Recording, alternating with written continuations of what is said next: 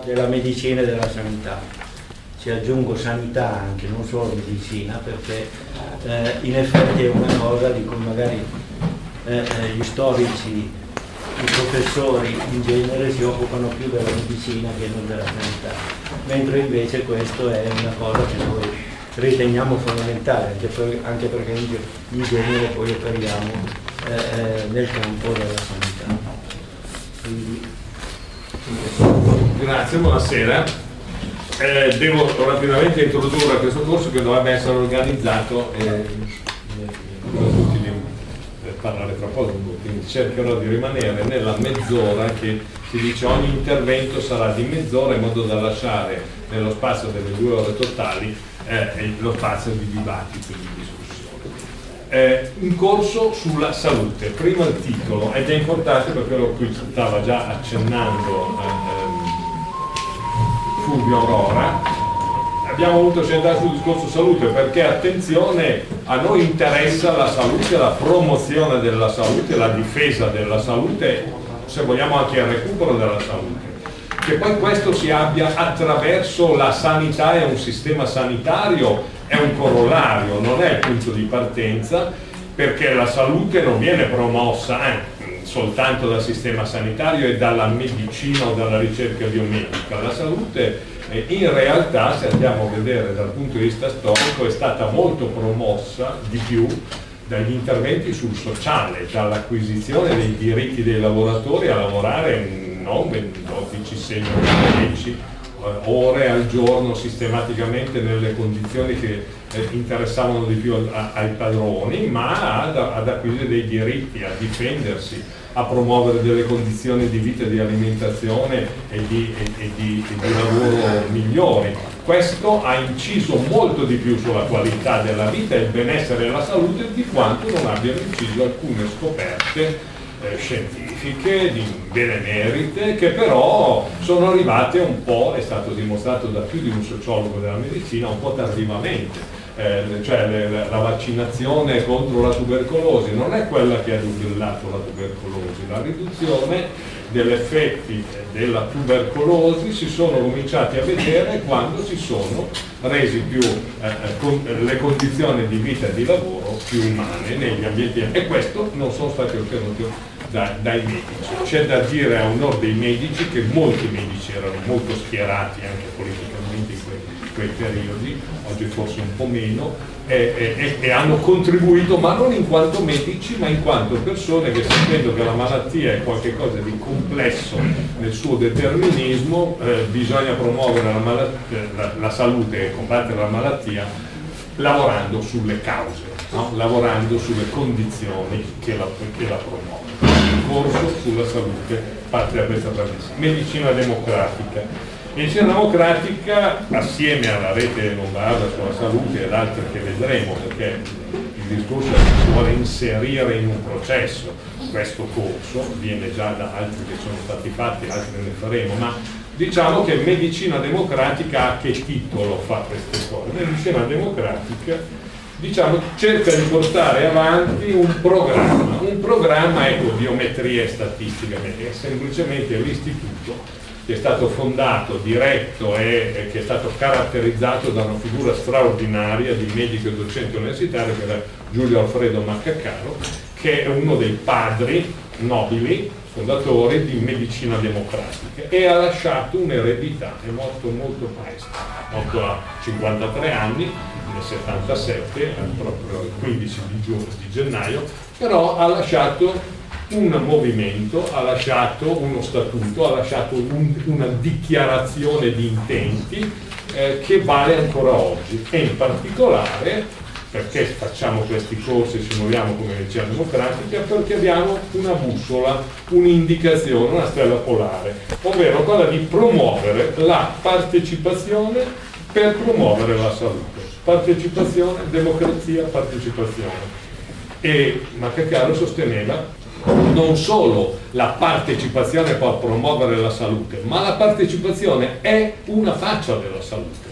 Non si può essere in buona salute se non si è partecipanti alla vita sociale, alla vita di, di tutti i giorni, a quello che si decide. Se siamo subordinati non possiamo essere sani. Ecco il concetto. Partecipazione per promuovere la salute, partecipazione come una faccia della salute, del benessere sociale. Rientra nella famosa definizione di che cos'è la salute dell'Organizzazione Mondiale Sanità che quando si pensava in grande ci diceva che la salute non era semplice assenza di malattia, ma è qualcosa. Ok, medicina democratica, partecipazione.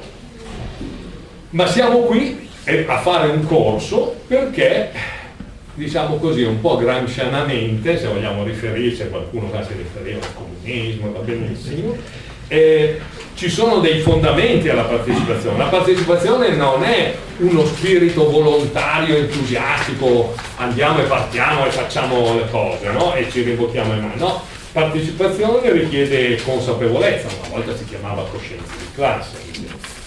Eh, partecipazione richiede conoscenza acquisita attraverso l'informazione, lo studio e la discussione, perché nessuno si salva da solo, c'è un famoso film che sta girando, eh, e nessuno riesce a promuovere la partecipazione da solo, la partecipazione è qualcosa di collettivo. E soltanto la discussione nel rispetto delle diverse prospettive, soprattutto arricchendo, e qui torna ancora un altro mandato di Maccacaro, medicina democratica è un movimento lotta ma anche un movimento culturale, un movimento che vuole al suo interno insieme diverse competenze, diverse figure professionali, in cui ci sono i lavoratori come primi interessati a promuovere la ricerca, e, e, qui viene fuori famoso, la famosa legge 300 di cui oggi si parla tanto male, finalmente siamo riusciti ad abolire lo statuto dei diritti dei lavoratori.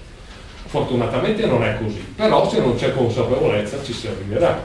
E quindi consapevolezza, competenze, ruoli professionali differenti. In medicina democratica ci devono essere i lavoratori a titolo di presenza non ad ascoltare ma anche a insegnare, così come ci devono essere i professionisti, i ricercatori, gli infermieri, i medici, gli operatori sanitari, ma anche gli ingegneri, anche quelli che collaborano a definire quali sono gli ambienti di lavoro, e, eh, il cui mandato è sempre stato dato solo da una parte, con un obiettivo, guardate che dovete spendere il meno possibile e faccio guadagnare il maggior possibile.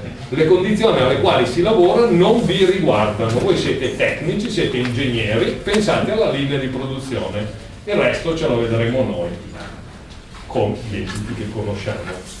Quindi partecipazione, medicina democratica, con presenza di diverse competenze e professionalità per confrontarsi modi, sui modi con i quali si può promuovere la salute. E allora la medicina democratica cerca di organizzare corsi, assemblee, se vogliamo, seminari, e allora il convegno prevede due incontri no? alla fine, a giugno e a novembre, in cui faremo un po' il punto perché non vogliamo fare soltanto delle erudizioni vedrete che non si tratterà anche oggi di erudizione anche se parleremo di storia. Ma non vogliamo neanche fermarci alla teoria vogliamo anche promuovere un movimento un movimento che cambi qualche cosa che serva a cambiare qualche cosa e allora attraverso anche una rivista la rivista ha raccolto ad esempio ma ci si propone di investire tanti altri argomenti con questa rivista, si vuole stimolare, continuare a stimolare lo studio, ripeto, l'importanza di studiare tutti, ci dobbiamo rimboccare le maniche su questi temi, riflettere, dibattere per analizzare, per capire, per criticare, ma anche per proporre, perché l'ultimo convegno, il secondo convegno, sarà proprio fatto in un'ottica molto ambiziosa, è fatto di dire ma sta andando così, non ci sta andando particolarmente bene col sistema sanitario né regionale né nazionale, tutto quello. Ma non abbiamo niente di propositivo da dire e già da oggi vedremo che c'è molto di propositivo che è stato detto, forse si è dimenticato, ma sarebbe il caso di riprenderlo per avere come minimo l'orgoglio di essere appartenenti a un movimento storico che ha delle radici molto profonde e che ha saputo indirizzare in un futuro realmente positivo, realmente favorevole a quello che era il cosiddetto servizio all'uomo e lavorare per una promozione di una scienza, di una democrazia reale e così via, e che forse eh, abbiamo un po' troppo dimenticato e abbiamo un po' troppo eh, eh, un senso no, di smarrimento. Se non recuperiamo queste radici, queste conoscenze, queste competenze, rischiamo di farci scavalcare da un pensiero unico. E pensiero unico è allora quello che riguarda medicina, salute e sanità nell'era del neoliberismo, che è quello in cui siamo immersi. Non importa se dopo, eh, eh, dopo Bush è arrivato Obama, tutto sommato il neoliberismo, la scuola di Chicago, eh, eh, eh Milton Friedman, hanno, hanno avuto e hanno un'influenza molto grande, lo vediamo anche in Italia attraverso Blair da una parte, una certa forma di renzismo, che io, attenzione, qualcuno va a sparare a zero, eh, comunista, sai, non sono così anti-renziano per partito preso, però vedo le derive che ci possono essere, che ci sono e che portano molto lontano da quello che dovrebbe essere il nostro discorso, ma se noi non ce lo chiariamo eh, il rischio è grosso no? di, di, di andare a perdere tutto. E allora il neoliberismo è quella scuola che ha cominciato a erodere i sistemi internazionali, ha eroso l'Organizzazione Mondiale della Sanità, i suoi programmi, ha imposto attraverso la Banca Mondiale, attraverso il Fondo Monetario Internazionale, un cambiamento radicale della, della prospettiva della sanità nel mondo, che è consistito nel dire Basta con la carta di Alma, la dichiarazione di Almata del 78 che diceva guardate che bisogna fare un buon sistema sanitario di base, bisogna istruire persone, far partecipare persone se vogliamo promuovere la salute in un ambiente tipo i famosi paesi in via di sviluppo eh, dobbiamo fare delle campagne che organizzino la competenza, che organizzano la, la, base, i medici di base, il famoso movimento dei medici scalzi che una volta, quando la Cina non era proprio quella che oggi, proponeva come movimento dei cubani che hanno dato un, contributo in Angola, cioè c'era una, una visione di questo genere. Bene, negli anni fine 70-80 c'è stato un cambiamento totale, una distruzione totale di questo, che ha portato a dire noi finanziamo soltanto progetti mirati a problemi. Vogliamo affrontare non la salute in Tanzania, ma vogliamo affrontare il problema della bilarziosi, oppure della leishmaniosi, oppure anche della malaria, problema per problema. Questo ha devastato la situazione, ci sono fior di articoli sull'Enset, sul New England Journal Medicine che hanno detto questa impostazione ha distrutto i sistemi sanitari dei paesi in via di sviluppo, ha promosso un falso aiuto, perché sapete sono famosi aiuti che si davano alla Somalia via i socialisti, così dicevano diamo gli aiuti, ma gli aiuti cosa sono? Noi diamo gli aiuti che vanno a finire a delle industrie che sono italiane, che vanno lì a fare un progetto e il profitto va di là. Cioè, quindi questo è il sistema. Non, era, non è un modo per far crescere davvero la struttura sanitaria e quindi si sono smentiti i documenti che tutti si erano firmati, su cui si era d'accordo e cito Alma-Ata, e Ottawa, due documenti fondamentali, uno del 1978, l'Organizzazione Mondiale Sanità, e uno del 1986, che dicevano per promuovere la salute ci vuole un tetto, lavoro, sicurezza, eh, eh, ambiente, ecologia, difesa e il sistema sanitario. Punto. Non serve fare dei progetti separati in cui oggi studiamo questo e, se, altri studiano altro. Quindi questo è il neoliberismo e che cosa porta? Questa strategia che si è dimostrata fallimentare, se andate sulle riviste scientifiche trovate i fallimenti, ma sono stati denunciati nel 2000, non eh, sono stati denunciati oggi, bene, è ancora attiva, è ancora attiva e sta eh, allargando il suo, il suo, il suo, la sua ottica. Eh, ad esempio, il discorso che ha fatto Obama sul problema di promuovere quello che viene chiamata la medicina di precisione, si chiama eh, Precision eh, Medicine Initiative, l'iniziativa della medicina di precisione, che propone che cosa? Propone che tutti i pazienti vengano etichettati con il loro genoma, cioè fare a tutti il genoma perché? Perché c'è una nuova tendenza ipertecnologica in medicina che è quella di trovare nuovi farmaci ipertecnologici che vanno a curare paziente per paziente, fare quella che si chiama la medicina personalizzata, che è un ottimo processo, è un ottimo mm, proposito, ma potrebbe essere un pessimo padrone a guidare la direzione dello sviluppo della medicina, perché in questo modo si sta cercando di sviluppare una medicina ipertecnologica, di sviluppare una medicina di produzione di farmaci del tipo del sofosbuvir. Vi ricordate la polemica che è uscita? Il sofosbuvir, un farmaco molto efficace, sembrerebbe, attenzione, sembrerebbe, eh, però, molto efficace per l'epatite C, che costa però 50.000 euro a trattamento, o meglio, attenzione, su,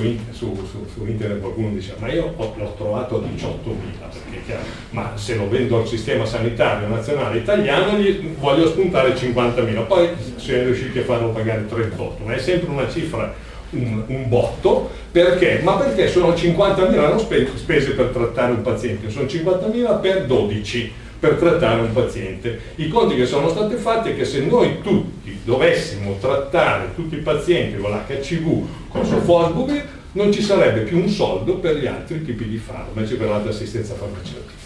In più è partita negli Stati Uniti una campagna che dice sì però guardate che i pazienti che sono affetti da HCV ed epatite C sono soltanto una quota, il famoso iceberg, la punta dell'iceberg noi dobbiamo promuovere uno screening di popolazione perché ci sono alcuni che ancora non lo sanno. E allora ecco il, il concetto del profitto, del neoliberismo e la privatizzazione.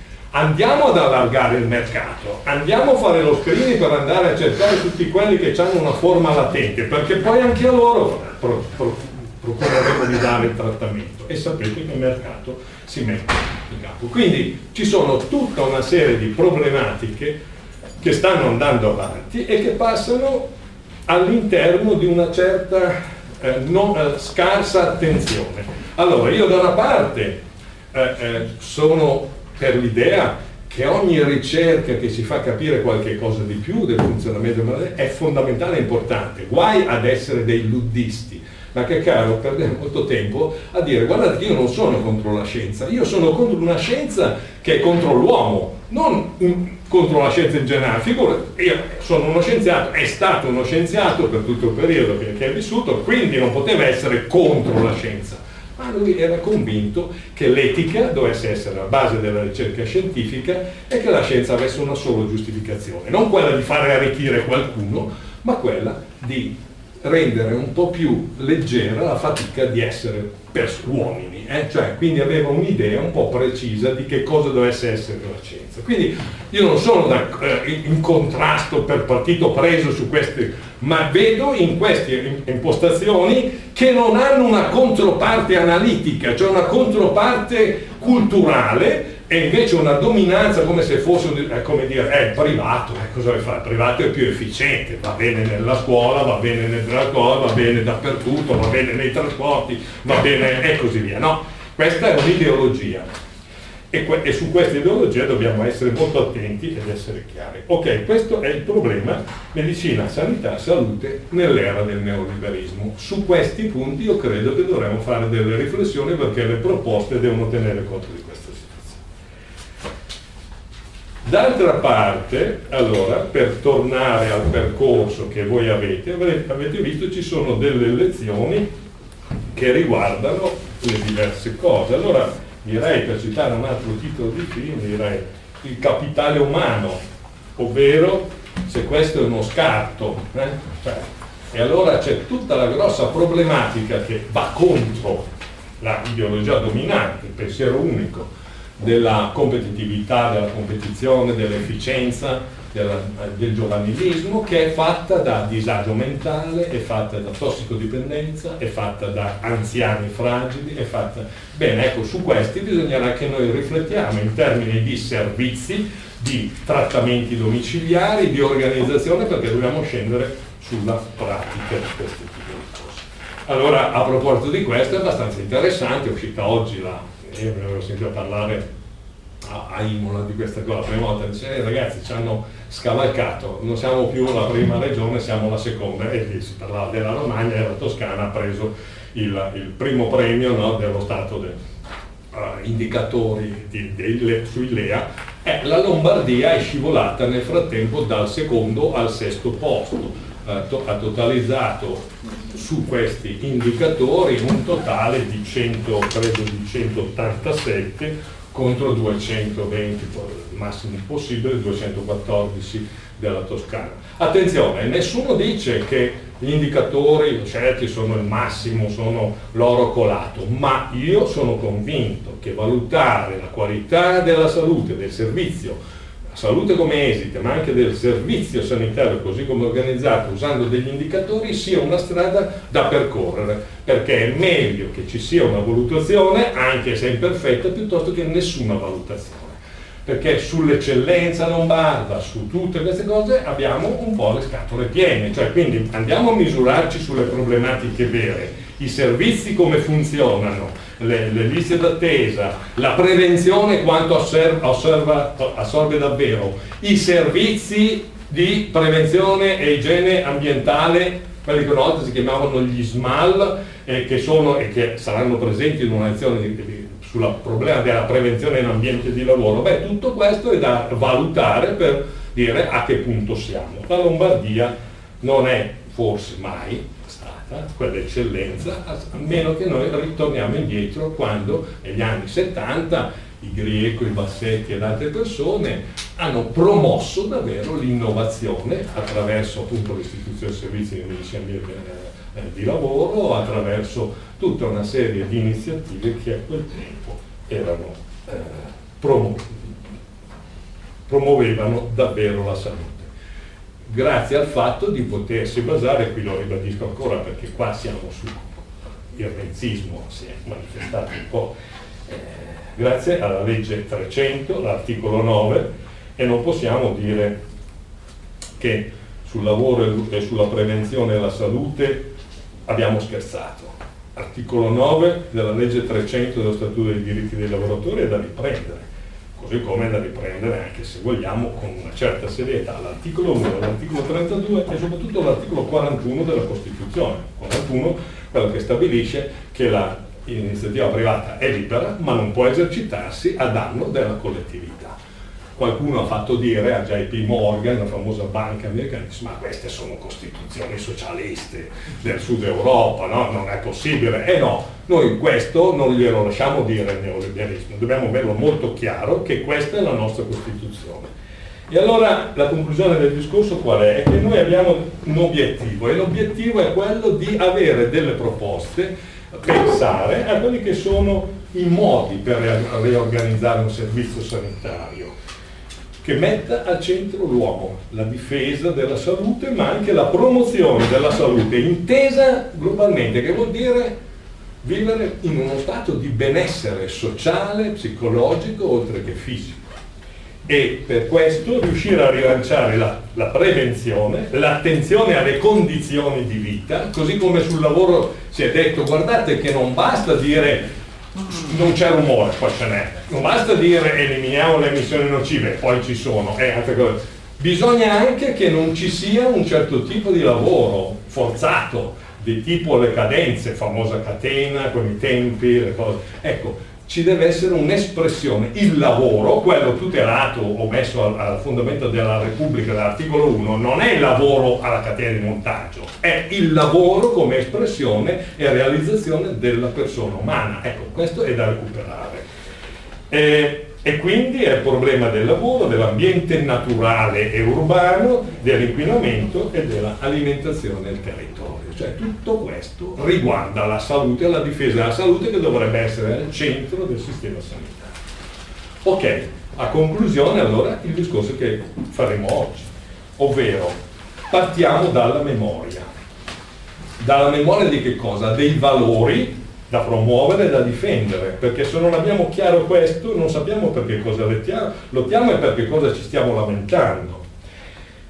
Partiamo dalla memoria dei sacrifici che forse ai giovani eh, vanno un attimo ben spiegati, dei sacrifici e dei percorsi che hanno portato alla formulazione di questi valori, non sono nati da soli. La Costituzione non, è, non si è scritta da sola in una notte, è stata scritta dopo che sono successe tutta una serie di cose sulla base di esperienze e di storie che sono, hanno avuto un significato e hanno avuto anche i loro morti. Eh? Molto senza retorica ma molto concretamente. Bene, tutto questo è il patrimonio al quale dobbiamo fare riferimento e la memoria deve riguardare queste cose. E deve essere soprattutto la memoria anche delle elaborazioni culturali e delle lotte che sono state fatte per affermarli questi valori, per scriverli su una Costituzione. Una volta scritti lì e una volta scritti nelle dichiarazioni internazionali, beh, dovrebbero essere fatti valere e quindi vanno difesi oltre che conosciuti. Ecco, per questo adesso direi che l'intervento del professor Cosmacini, che è uno storico, prima ancora che uno storico della medicina, è proprio inteso, e ci ha detto che ha una deriva comunista di formazione, benissimo, da lui ci aspettiamo proprio questo recupero della memoria, no? la storia come memoria di qualche cosa che dobbiamo utilizzare per costruire il, il futuro che vogliamo.